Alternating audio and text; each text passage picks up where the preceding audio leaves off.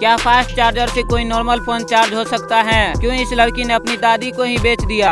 मिलेगा सबका जवाब, चलिए शुरू करते हैं आज के रैंडम फैक्ट के अध्याय को। नंबर वन क्या आपको पता है कि दुनिया में एक ऐसी भी जगह है जहाँ पर ना तो आप इंटरनेट यूज़ कर सकते हैं और ना ही टीवी देख सकते हैं, और ना ही मोबाइल फ़ोन यूज़ कर सकते हैं? दरअसल इस जगह का नाम ग्रीन बैंक सिटी है, जो यूएसए में मौजूद है। यहाँ इन सभी चीज़ों पर बैन लगा हुआ है।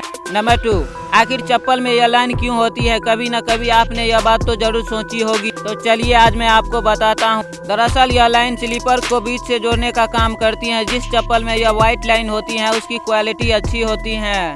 नंबर थ्री दुनिया में स्वीडन एकमात्र ऐसा देश है जहाँ भीख मांगने के लिए सरकार को टैक्स देना पड़ता है। जो यहाँ टैक्स नहीं देता है, उसे भीख मांगने की अनुमति नहीं दिया जाता है। नंबर फोर क्या फास्ट चार्जर से नॉर्मल फ़ोन चार्ज हो सकता है? दरअसल फास्ट चार्जिंग सिर्फ़ चार्जर पर ही डिपेंड नहीं करता है। दरअसल फास्ट चार्जिंग वाले फ़ोन में दो बैटरी होते हैं, जो एक साथ चार्ज होते हैं। अगर नॉर्मल फ़ोन को फास्ट चार्जर में लगाया जाए तो उससे ज़्यादा फ़र्क नहीं पड़ेगा। हो सकता है उसकी बैटरी लाइफ कम हो जाए। नंबर फाइव, साल 2009 में इस लड़की ने अपनी दादी को ही ईबे पर बेचने के लिए डाल दिया था।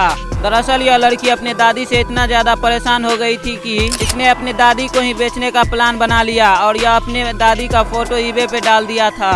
ऐसे ही और अमेजिंग वीडियो देखने के लिए शेयर सब्सक्राइब और लाइक मिलते हैं अगली वीडियो